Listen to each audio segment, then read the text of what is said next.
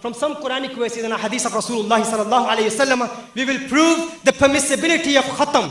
We will prove the permissibility of Isalu Sawab. We will prove the permissibility of holding a gathering on the 40th and placing food in front and raising your hands and doing dua. Because a lot of our youngsters say this is a bid'ah, this is shirk, it's impermissible. And they forget remembering their parents who nurtured them. Parents who asked them to do duas, who begged them to do duas. The parents have passed away and now these people are issuing fatwas against gatherings of Isalu Sawab. We will prove all of that inshallah. Take note. First dalil. People say that one person's amal cannot benefit another. People claim the amal of one individual. If I was to do something good and if I was to transmit the reward to someone else, the reward of reciting Quran to someone else, if I was to transmit that to someone, they say it's haram. It is impermissible. It doesn't benefit the one who has passed away. Allah subhanahu wa ta'ala says in the Quran, وَقُلْ رَبِّ ارْحَمْهُمَا كَمَا رَبَّيَانِ صَغِيرًا In Surah Isra, verse 24, Allah subhanahu wa ta'ala orders His beloved Messenger sallallahu alayhi wasallam, وَقُلْ رَبِّ ارْحَمْهُمَا كَمَا رَبَّيَانِ صَغِيرًا Oh beloved, tell them, this dua was taught, رَبِّ ارْحَمْهُمَا Have mercy upon the two.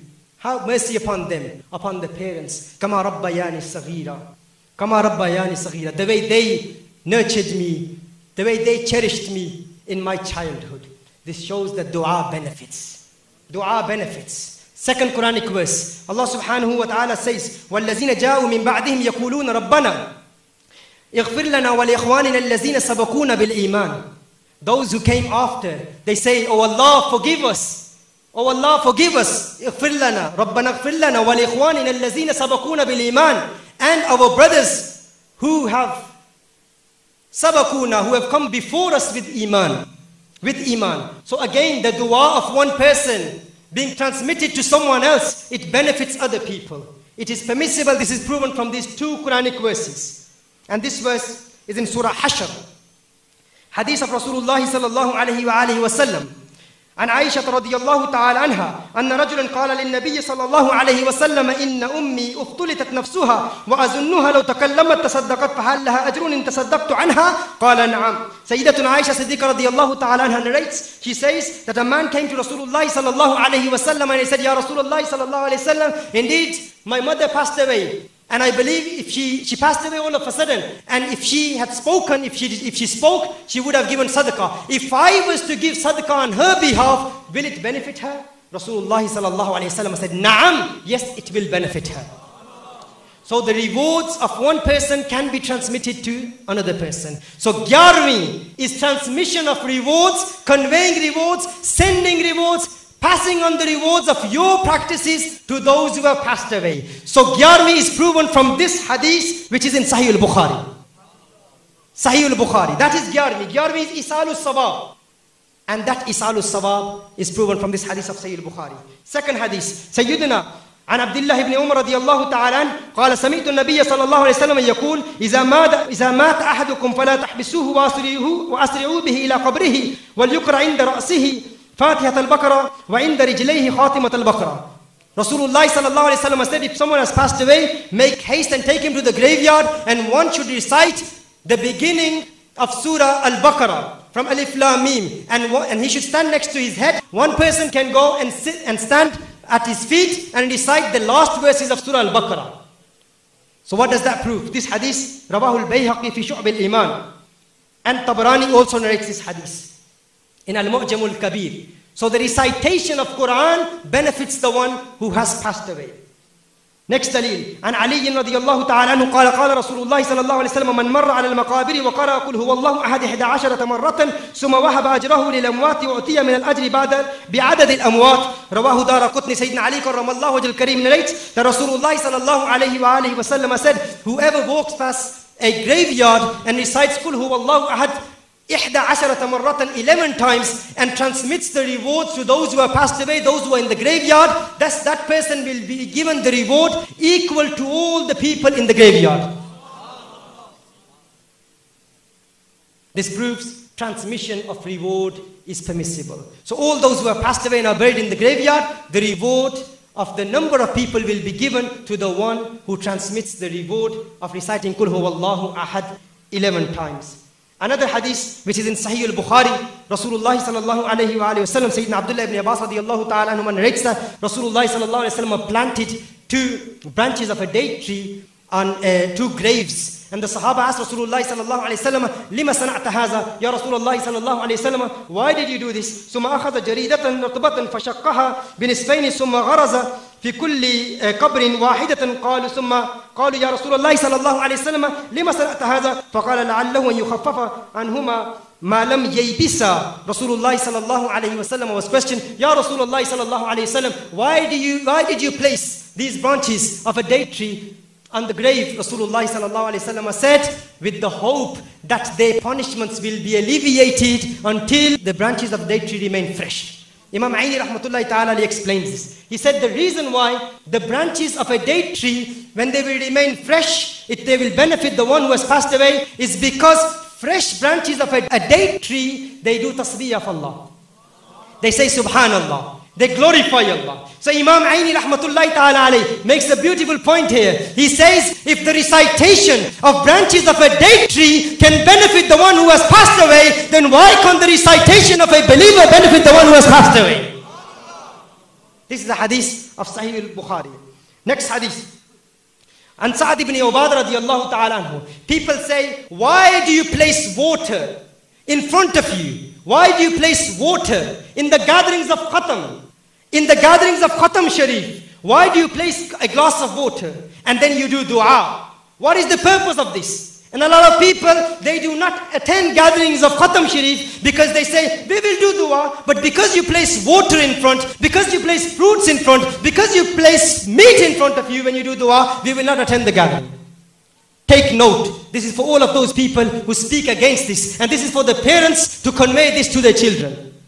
Those who have become rebellious. عن سعد بن عبادة رضي الله تعالى عنه أنه قال يا رسول الله صلى الله عليه وسلم إن أم سعد ماتت فأي صدقة أفضل؟ قال الماء. قال فحفر بئرا وقال هذه لأم سعد سنن أبي داود سنن النسائي. This is a hadith of Rasulullah صلى الله عليه وسلم سيدنا سعد بن عبادة رضي الله تعالى narrates this. He says I said to Rasul I asked Rasulullah صلى الله عليه وسلم يا رسول الله صلى الله عليه وسلم Indeed my mother has passed away. فأي صدقة أفضل What is the best form of صدقة رسول الله صلى الله عليه وسلم said water The beloved of Allah صلى الله عليه وسلم said water and then Sa'ad bin Ubad radiallahu ta'ala he dug up a well and he said this well is for Umm Sa'ad this is for the mother of Sa'ad هذه لأم سعد رضي الله تعالى عنهم This proves the permissibility of, of transmitting the reward of water to those who have passed away Some people say, why do you place fruits in front?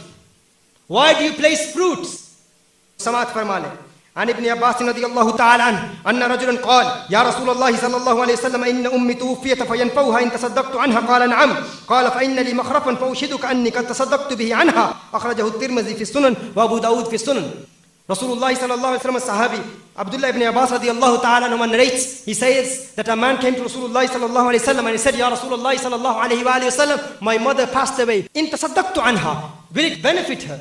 Will it benefit her if I was to do sadaqah on her behalf? Rasulullah sallallahu alayhi wa said, yes, it will benefit her. He said, I have this garden of fruits. This is for my mother. Those who will eat the fruits, this is serving humanity serving the makhluk of Allah. And the reward of this is transmitted to those who have passed away. They say, why do you place meat in front of you? Why do you do that? This is established from the practice of Rasulullah sallallahu alayhi wa alayhi wa sallam. Isalu sawab of Rasulullah sallallahu. And this is one of the strongest dalil to prove Gyarvi Sharif.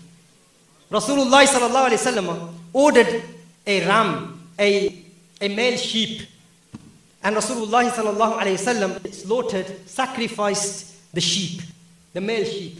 Rasulullah sallallahu sacrificed it. And while sacrificing it, Rasulullah sallallahu said, and this is a hadith in Sahih al-Muslim, a hadith in Sahih al-Muslim. What do we do in Gyarvi? In the Indian subcontinent, what do you do in Gyarvi Sharif? Gyarvi Sharif में क्या करते हो? एक मेंढा पकड़ के उसको जबा किया जाता है और उसको जबा करके hai जाता है इसका सवाब हम ओस पाक को पहुंचा रहे हैं यही किया जाता है ना اور یہ کہتے بھی ہیں کہ یہ بکرا غوث پاک کا ہے۔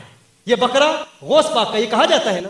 لوگ کہتے ہیں غوث پاک کا نہیں ہے۔ یہ نہیں کہہ سکتے کہ بکرا ہم نے ذبح کیا ہے غوث پاک کے نام پر۔ لوگ کہتے ہیں یہ شرک ہے۔ ہم کہتے ہیں اگر شرک ہے تو یہ حدیث حدیث سن لو۔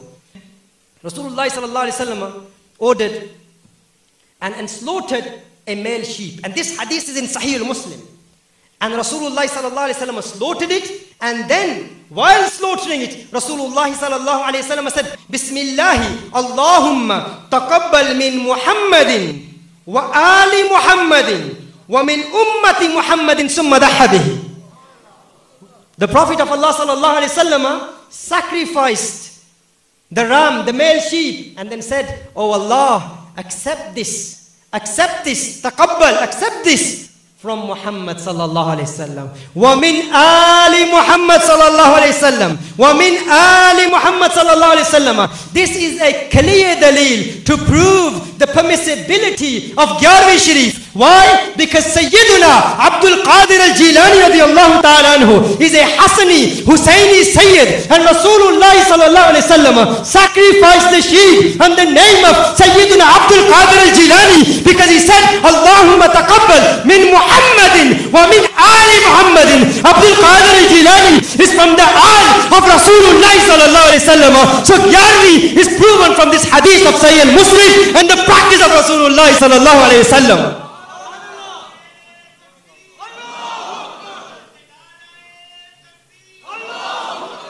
کہ پہلے اصول ثابت کیا ہے۔ پہلے تو قانون ثابت کیا ہے۔ پہلے اصول دیا ہے۔ اب حضور اکرم صلی اللہ علیہ وآلہ وسلم کی سنت، حضور اکرم صلی اللہ علیہ وآلہ وسلم کی براہ راست ڈائریکٹ سنت کہ حضور اکرم صلی اللہ علیہ وسلم نے اس بکرے کو زبا کیا اور اپنی آل کو اسال ثواب کیا۔ اور آل میں عبد القادر جیلانی آتے ہیں، غوث پاک آتے ہیں۔ تو یہ گیارہویں صحیح مسلم کی اس حدیث سے ثابت ہے۔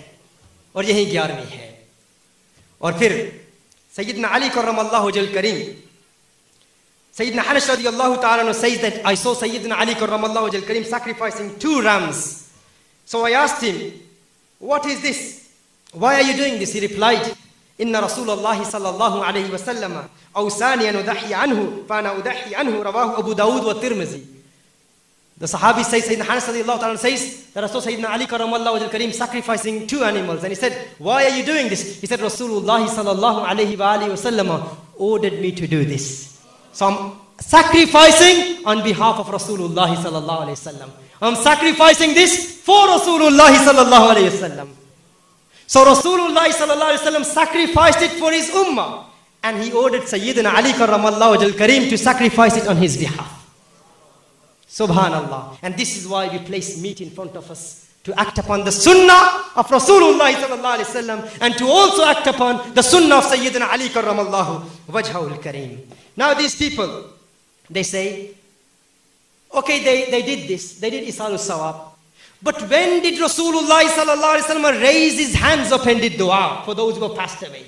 As a favor, we will give you a dalil. Sayyidina Anas bin Malik radiallahu ta'ala anhu, he says, Umm Sulaim, she brings some food to Rasulullah sallallahu alayhi wa alayhi wa sallam. قال ودع النبي صلى الله عليه وسلم يده في الطعام ودعا فيه وقال ما شاء الله قال فجعلوا يأكلون ويخرجون This is a hadith in Mustadrak of Imam Hakim. Sayyidina Anas bin Malik radiallahu ta'ala anhu narrates this hadith. He says that Umm Sulaim brings some food to Rasulullah sallallahu alayhi. The beloved of Allah sallallahu alayhi placed his hand on the food and then the Prophet of Allah sallallahu alayhi he did dua on the food. Hadith in Mustadrak, Mustadrak of Imam Hakim. Another hadith عن أبي هريرة رضي الله تعالى عنه قال أتيت النبي صلى الله عليه وسلم تمرات فقلت يا رسول الله صلى الله عليه وسلم ادعو الله فيهن بالبركة فدمهن ثم دعا لي فيهن بالبركة حديث Tirmizi Rasulullah sallallahu alaihi wasallam's companion Sayyidina Abu Hurairah radiyallahu ta'ala he says that I placed I gave some dates to Rasulullah sallallahu alaihi wasallam and I said Ya Rasulullah sallallahu alaihi wasallam pray for me do dua for me and Rasulullah sallallahu alaihi wasallam prayed with the dates in front of him. Rasulullah sallallahu alayhi wasallam did dua. So if someone says in the future, where is the dalil for doing dua on food? This is the dalil for it. Tirmizi and Mustadrak of Imam Hakim. Now they say, give us a dalil for raising the hands. Hadith in Sahih al-Muslim.